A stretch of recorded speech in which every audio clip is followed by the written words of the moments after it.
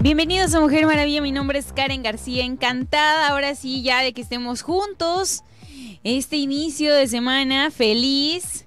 Oigan, tengo pues ahí un temita, porque yo sé que varios niños y yo digo, tengo mis sobrinitos, como lo saben, a, la señorita Icy Karen, a la niña Icy Karen y a mi nueva sobrina Regina, que he visto algo muy específico regularmente, por ejemplo, para dormir buscan una, una como toallita. Y ahora me vengo a enterar que son apegos, son apegos que los niños suelen tener con ciertos artículos. ¿Cómo son los apegos? ¿Cómo funcionan? El día de hoy tenemos experta para hablar del tema. Me gustaría que si ustedes saben de que algo toman sus hijos en específico, me lo escribieran al 33 10 19 07 12, 33 10 19 07 12 y me digan, Karen, a mí me pasa que mi hijo hace esto, esto y esto, y el día de hoy vamos a platicar del tema. También tenemos líneas en cabina 3647 1883 3122 1190. Apenas vamos ni a mitad de semana, señores, es así. Hoy hay que participar, hay que estar ahí atentos. 33 10 19 07 12. Tenemos de invitada a la maestra Mari Carmen Guerra. Ella se encarga del programa de fortalecimiento docente de humanidades de la Universidad Panamericana. ¿Cómo está, maestra? ¿Qué tal? Muy bien, contentísima de estar aquí. Ay, qué bonita voz se le escucha, ¿eh? Gracias. Déjeme le digo. Oiga, primeramente, ay, que, oiga, yo traigo esa palabra de oiga, oigan, oigan, oigan, oímos, oímos todos. ¿Qué es el apego? Mira, el apego, vamos a hacer un poquito de estructura en el conocimiento del niño. El apego viene como una necesidad del niño de relacionarse con lo que está a su alrededor. Se relaciona con las personas, se relaciona con las cosas. Vamos a decirlo así en, de una forma básica. Las cosas le dan satisfacción al niño, le, le agradan, le calman. Si el niño está ansioso, con alguna de las de las superficies que tiene a su alrededor, vamos pensando en la cama con una cobijita suave, entonces el niño frota la cobijita y esa sensación le produce gratificación y entonces el niño se calma. Entonces el apego es esa relación circular, repetitiva, con algo que me provoca gratificación. Nos gratifican las cosas, pero también las personas. Por naturaleza, los seres humanos estamos hechos así. Mira, por ejemplo, tiene que ver con emociones. Los niños sienten miedo. En cuanto nacen, el niño está expuesto al ambiente, vamos pensando al frío, al demasiado calor, a los movimientos muy bruscos, a los ruidos demasiado fuertes. Sí, porque de repente los Ajá, como que... automáticamente el niño no está acostumbrado, porque imagínate, nueve meses en el vientre materno, él estaba felicísimo, protegido, una temperatura especial, y solo que la mamá se moviera demasiado, pues él movía demasiado, pero siempre estuvo cubierto. Cuando sale a la intemperie, entonces el niño empieza a sentir esa sensación de miedo, ¿verdad? Necesito seguridad. aparte todo es nuevo, todo no lo entiendo. Quizás al inicio que no ven, ven creo que sombras o algo así, pues solo escucho así es. y no sé qué está pasando. Cuando yo adentro, pues estaba tranquilo, ¿no? Exactamente. Entonces él está codificando lo que está sucediendo y decodificando todo para poderle dar sentido, aunque él todavía no lo pueda conceptualizar. Su cerebro ya está trabajando. Entonces, sus emociones surgen como una, yo les llamo como antenitas de respuesta ante el medio ambiente, las emociones. Es como, como si yo me alarmara por algo peligroso que está sucediendo, que me tengo que poner en protección. Por ejemplo, tú subes al niño y lo bajas rápido y entonces el niño levanta las manos. Es un reflejo automático de, su, de su cuerpo porque siente miedo y levantar las manos lo ayuda como a quererse sostener de algo, ¿no? Si tú le pones la mano, el, reflejo del, el, reflejo de la mano, le pones un dedo al niño en el centro de su manita, inmediatamente te lo aprieta. Ajá. Y, si tú le pones las dos, lo podrías levantar y el niño se sujeta y lo puedes cargar de los dos. Digo, hay que cuidarlo muy bien para que no se vaya a lastimar. Pero el niño se sujeta con tal fuerza que se puede proteger. Entonces digamos que los apegos son esa capacidad de respuesta que tiene el ser humano para irse protegiendo de lo que le va sucediendo en el medio ambiente y para ir cubriendo sus propias necesidades. Entonces vamos a hablar del tema de la mamá. Generalmente el niño va desarrollando un apego muy, muy, muy fuerte con la madre, que es la, digamos, la satisfactora vital, ¿no? La mamá que está ahí al pendiente de, interpretar lo que sus gemidos significan, lo que su malestar significa, y entonces la mamá va dando los satisfactores. Entonces tiene hambre, le da lechita. Tiene sueño, lo pone a dormir, lo aísla de ruido. Quiere movimiento, lo recoge en su, en su regazo y lo, empieza a mecer, etcétera, etcétera. Eso va haciendo asociaciones con cosas o con tonos, este, sonidos que el, que el bebé va va detectando o con estructura de horarios también. Vamos pensando que el niño no sabe que son las 3 de la tarde, pero siempre a las 3 de la tarde la mamá empieza a hacer ciertos ruidos y luego ya, ya llega. Véngase mi muchachito, le toca comida, ¿verdad? Entonces el, bebé... lo asocia. Así es. Cuando eso sucede más de 30 días, el 31 día, son las 3 de la tarde y el niño ya está esperando. sin que haya una espera consciente, sin que el niño diga, ah, son las 3 de la tarde, ya, ya me toca lechita. Pero como la mamá asoció esa estructura de horario, entonces el niño son las 3 de la tarde y empieza inquieto porque le va a tocar su lechita, ¿no? Ok, a mí me gustaría hacerle un comentario para ver si más o menos tiene que ver con esto, pero volviendo de música, porque por ahí escuché a alguien que dijo algo así sobre esa asociación y ahora que lo dice, ya lo empiezo a relacionar como bebé, lo estoy relacionando. Vamos a volver de música y vamos a seguir hablando de este tema que está bastante interesante. Estamos en Mujer Maravilla. Si tiene algún comentario, el 33 10 19 07 12. Escucharemos Amarillo de Shakira. ¿Qué será lo que fabricas tú?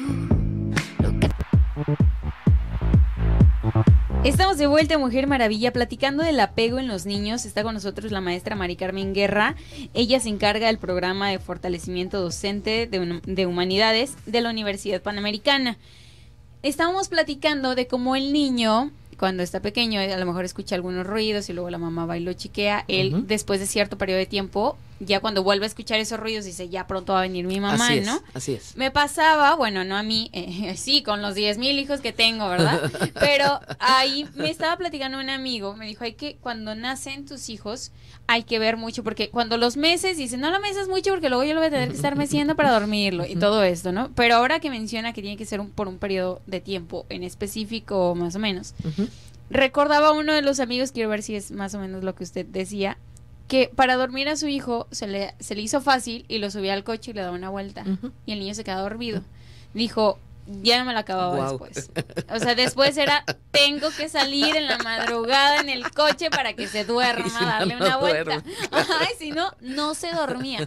¿Cómo haces cuando ya le bailaste, pues? Porque ya lo acostumbraste y ahora ¿qué haces? Exactamente, ¿no? Ya forjaste un hábito. Al 31 día, el niño piensa que es ley y que hay que pues, responder de esa manera. la paleta Muy sencillo, se llama contracondicionamiento. Es el, el contrario. Si el niño se pone mal, no lo subo al coche para, para darle la vueltita, sino hago diferentes rutinas, ¿no? Por ejemplo, lo abrazo, lo pongo entre almohaditas, le acaricio la mejilla, el cariñito en la espalda también tranquiliza mucho a los niños durante otros 30 días, aunque llore, moque, este, en algún pegue de grito, etcétera, etcétera. 30 días seguidos los niños más resistentes al 31 se cansan porque su rutina eh, habituada a ser diferente, pues ahora cambió y entonces el niño no le queda otra más que asimilarlo. Lo que pasa es que los adultos no le sabemos y nos da mucho miedo ver sufriendo al niño. Y entonces ah, mm. decimos, no va a haber otra manera de calmarlo más que esa. Y nos asustamos y decimos, no, ya, aquí ya le bailé, déjame subo al coche. Así Imagínate cuando no había gasolina, ¿qué hacía? claro. luego, aguantar a un niño. cuando, el niño es chiquito es lo, más doloroso que hay para los padres, verlo llorando. ¿Y hay alguna edad más específica, un rango de edad donde generen más apego? E, es, es esta edad justa de los apegos, de los 0 a los 2 años, más o menos. Mira, tiene que ver con el tema del amor. El, todos los seres humanos estamos como que el amor lo traemos en las venas, ¿no? Y es nuestro nuestro alimento, como como si dijéramos el oxígeno y el agua para para en el tema biológico, igual en, el, en los seres humanos es el amor el que nos mueve.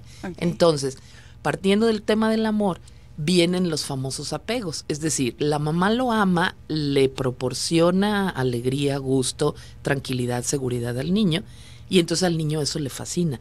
No hay bebé que no le fascine estar abrazado, o que lo acaricien, o que lo traten con dulzura, que le canten, etcétera, etcétera. Todas esas rutinas hermosísimas de mimo de la mamá hacia el hijo. Entonces el apego viene cuando el niño lo siente súper agradable y quiere que se repita una y otra vez y otra vez y otra vez. Vamos poniéndole un poquito más edad, por ejemplo, los niños de un año y medio yo tengo seis hijos y les contaba cuentos. Entonces recuerdo que los dos grandes ya habían crecido un poquito y había, había nacido el chiquito, el tercero Pablito. Y entonces les contaba el cuento, le tocaba el cuento de Jonás y le fascinaba, ¿no? Les contaba la Biblia en, en, en paginitas. Y entonces, Ota, no, no podía decir otra palabra, pero él no nos dejaba leer otro cuento más que Jonás. y si, y si nos le cambiábamos de cuento, él volvía, Ota, Ota. Porque me da tanto gusto eso, porque es tan agradable, porque me río tanto. Le fascinaba la historia de que se lo comía a Jonás la ballena y que Jonás salía de la ballena. Entonces era para él así como, wow, y Ota, Ota, Ota. Y ahí nos tenías por años. leíamos nuestro cuento y Jonás. Y Jonás tenía que ser al principio, durante y después. Y era era como ese apego que haces a algo que me agrada, que me gusta, que me hace pensar, etcétera. El niño no se da cuenta, ni siquiera lo verbaliza, ni, ni, ni él piensa que es algo terrible para, para él mismo. Nosotros los papás necesitamos conceptualizarlo para ayudarlos. Se llama el tema educación en los deseos. Está bien que yo te ame, está bien que tú necesites amor la fuerza que va a pedir el apego es el deseo del niño. Deseo estar bien, deseo paz, deseo seguridad, deseo tranquilidad, ta, ta, ta, ta, muy bien. Pero yo adulto me debo encargar de poner, ponerle límites a tu deseo para que tú no te hagas un niño berrinchudo o un niño apegado a todo. Vamos poniendo el, el clásico del chupón. Ay, tipiquísimo es el chupón. Así es. De ocho años con el chupón, ¿no? La primer, la primer reacción natural de un ser humano, de un bebecito, es eh, mamar. El, el, el, niño nace ya con el, el reflejo de succión porque ese reflejo le va a ayudar a sobrevivir. Luego se asocia con el pecho materno, que la mamá le da lechita, el, el pecho da, eh, naturalmente nos, nos, hizo nuestro creador con leche calientita, tibia, a muy buena temperatura, de muy buen sabor, y entonces el niño le fascina.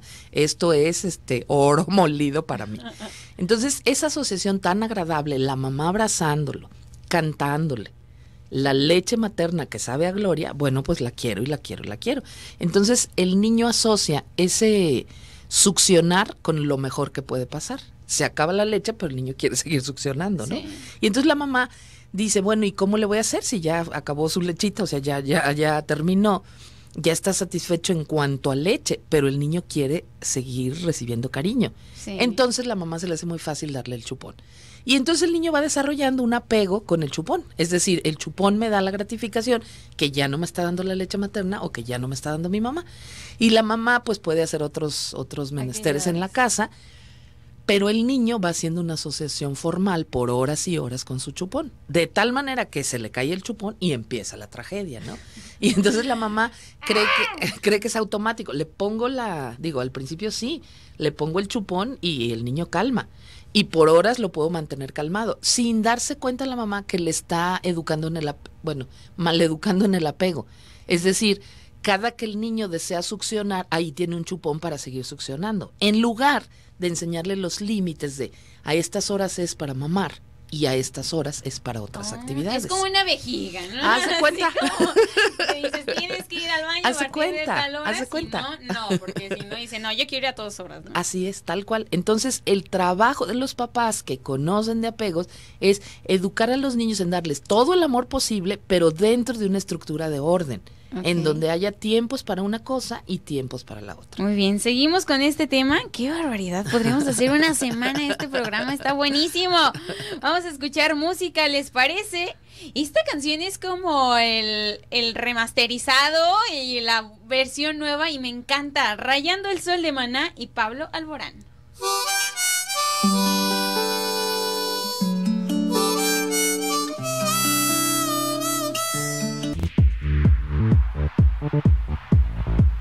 Estamos de vuelta, Mujer Maravilla, Platicando del apego en los niños, ahorita platicábamos en un, eh, de un ejemplo, no quiere decir que sea lo único que toman, ¿no? A lo mejor dicen, duermo con mi toallita forzosamente o no duermo, cosas así, ¿no? Pero ahorita hablábamos de, del chupón y del cómo pasa que de repente cuando damos continuamente el chupón para que el niño se calme, pues ah, genera un apego con él, ¿no? Pero a lo mejor en lugar de decir a ciertas horas, como los videojuegos, quizás no lo vemos, el chupón es también como los videojuegos, por no poner ejemplo con órganos y ponerlo con algo que tenemos más físicamente, los videojuegos, ¿no? A tal hora, de tal hora a tal hora vas a poder jugar videojuegos, es lo mismo, de tal hora a tal hora vas a poder estar con el chupón. Muy bien, yo haciendo anotaciones para cuando tenga Entonces el chupón a cierta hora. Entonces es. así. ¿Con qué otro tipo de cosas ellos generan? Mira, los apegos pueden ser con lo que sea. Si de adultos generamos apegos, ¿no? Claro. incluso puede, puede tener apego a ciertas posiciones. No solamente tienen que ser cosas externas, sino esta posición es la, la ideal y entonces el niño se acomoda. La posición fetal es muy muy común. Los niños tienden a repetirla porque venían del vientre materno en esa posición. Pero en fin, son el chupón, la cobijita, las superficies suaves les gustan mucho a los niños, a diferencia de las rugosas, las rugosas no les gustan. Los, la quietud, también puede haber apego a estar en santa paz en la, en la recámara. Puede haber apego al sonido de la voz de la mamá, al sonido de la voz de los hermanos. Poco a poco empiezan a conocer, ¿no? el, papá, la mamá, los hermanos. Y entonces puede haber ese apego a esas personas en concreto que son las que más fuente de afecto significan para mí. O lo que tengan a su alrededor, ¿no? La mamá generalmente les da peluchitos, les da juguetitos blandos para que no se lastimen y entonces los niños van sintiendo el contacto y empiezan a gozarlo y a disfrutarlo porque les da seguridad, ¿no? Vamos pensando en el el monito de peluche, ¿no? Que lo puede abrazar y entonces al estar el niño sujeto a algo, él siente seguridad, como si no se fuera a caer. Que agarran todo como si no hubieran mañana. Así es. Así, es. ¡ah! Y entonces generan un movimiento muy parecido al arrullo. La mamá arrulla al niño, lo mece de un lado a otro. El niño soba su peluchito, pasándole los dedos por la superficie, y ese movimiento le va generando mucha tranquilidad, lo, lo va, lo va calmando Incluso puede haber apego a los alimentos, apego a, las sustancias, etcétera, a todo tipo de sustancias que le gustan. Vamos pensando en las papillas, ¿no? Que le fascinan las dulces y le, le multichocan las verduras, que son las papillas de verdura cuando ya, ya ingieren verdura, porque no saben tan dulce como sabía la leche materna. Mm. Y entonces el niño va haciendo este apego y lo va tratando de repetir.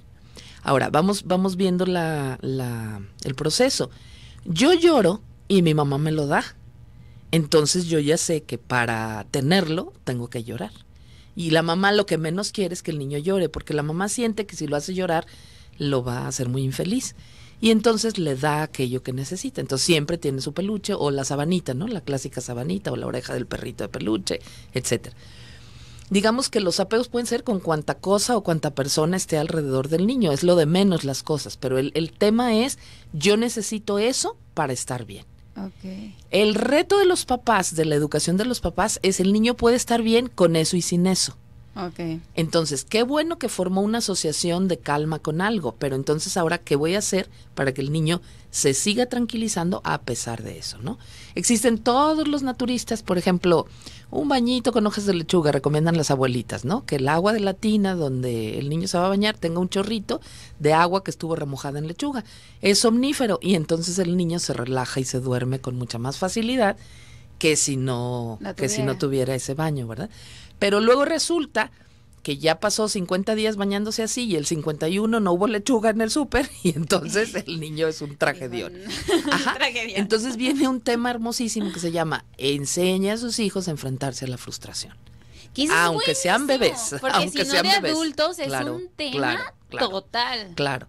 Y entonces lo que qué bueno que hay algo divertido, agradable para que el niño se calme. Pero disfrútalo. Pero eso se va a acabar en cierto periodo de tiempo. Vamos pensando los biberones, ¿no? Los biberones tienen que tener un tiempo de caducidad, cuatro, cinco años, y el niño hay que cambiarle el, el, bibi a, a, vaso entrenador porque porque el proceso sigue. Y entonces ya no es mamar, ahora es aprender a morder, ahora es aprender a triturar, etcétera, etcétera, ¿no? Diferentes procesos que el niño tiene que, que ir aprendiendo.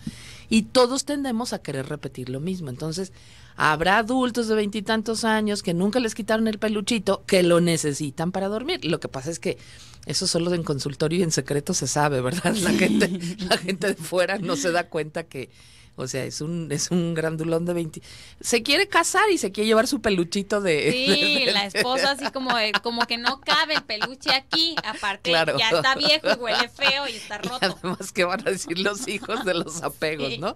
O las señoras adultas que todavía se chupan el dedo, ¿no? En la, en la noche, que también es otro, otro apego así muy formal en, señoras o señores, ¿eh? es, igual. En consultorio te das cuenta de todas esas que parecen secretos, que luego te das cuenta que son muy comunes. Y el tema fue, nunca lo enfrentaron a la frustración, nunca le enseñaron que puede ser feliz con eso y sin eso. ¿Y cómo sé que el nivel de frustración al que lo estoy sometiendo no es uno no adecuado? Exacto, como, como, como diferenciar entre cuando estoy haciendo entre enfrentamiento a la frustración y ya este ataque contra el niño, ¿verdad?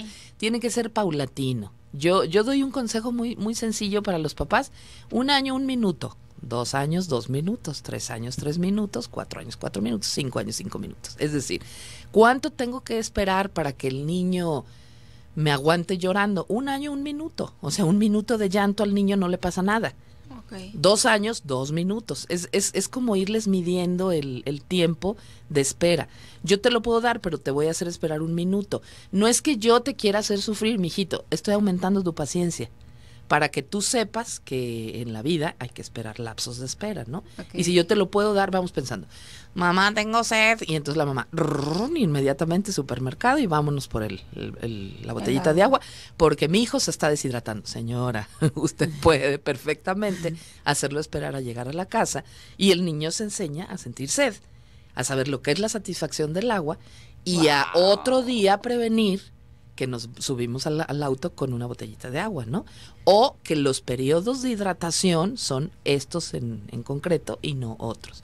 Y entonces el niño esa espera que parece terrible, que es un llanto, desesperación y que la madre se siente la peor malvada del mundo, se convierte en una experiencia de aprender paciencia. Sí, porque después es culpa para la mamá y es que yo ya sabía porque no eché el agua, si pobre de mi hijo se va a deshidratar, ¿qué vamos a hacer? Así es. Y las mamás somos mucho más chiquionas que los papás. Los papás como que pronto su capacidad de previsión a futuro les ayuda a entender, el niño te está haciendo un berrinche, mira cómo te ve, porque los niños son increíbles, ¿no? Tienen tres años, empiezan a hacer berrinche, te voltean a ver, ven que te angustió y entonces le suben al volumen del berrinche, ¿no? Porque ahorita estoy ya a punto de conseguirlo, ¿no? Se te va a armar, ¿no? claro, y entonces ven que el papá no les concede y entonces dar una lloradita, ven que no, bueno. Bueno, con él no funciona, deja que llegue mi Claro. vamos a seguir con el tema. Ay, las mamás que son como dice la canción La Mujer Perfecta de Kurt. Hoy vamos a escuchar música. Y volvemos a Mujer Maravilla. Qué buen tema, yo sigo bien emocionada. No tengo hijos y estoy emocionada. ¿Cómo están ustedes? Se te van a antojar. Vamos a escuchar música entonces.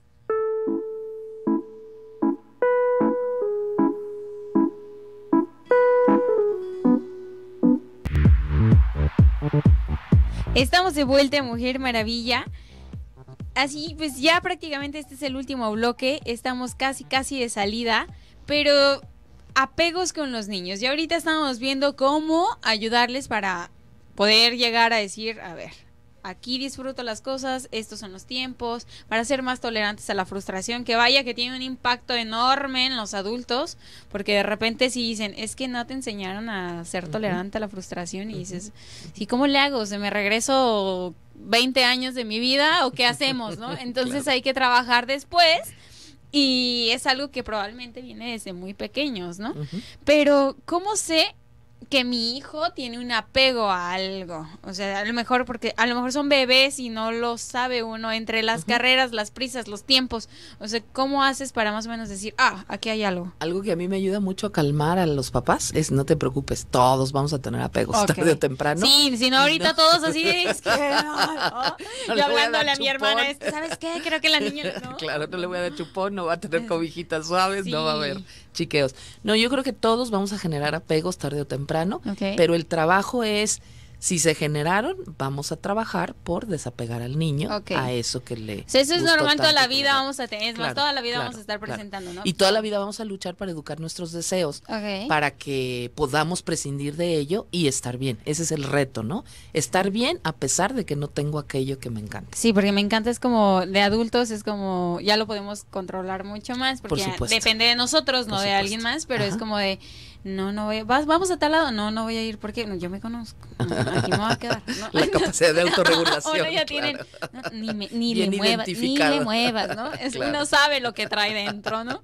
Pero Claro, entonces es eso, saber que se tiene que controlar Así es. y, Y, que se quita. y esperar a pasar los torbellinos emocionales de los niños. Los niños te, te hacen entrar a un juego en donde lo quiero, lo quiero, ¡ah, ah! y entonces desesperan a la mamá. O sea, el niño con su necesidad, digamos, de gratificación, con su apego a eso que, vamos pensando, se pierde el perro de peluche, que es el apego para dormir, y entonces viene el tragedión, ¿no? La mamá entra en conflicto. E- Ella empieza a sentir mucha culpa porque yo debería satisfacer a mi niño y empieza a sentir mucho enojo porque el niño no la deja dormir y ya está muy cansada.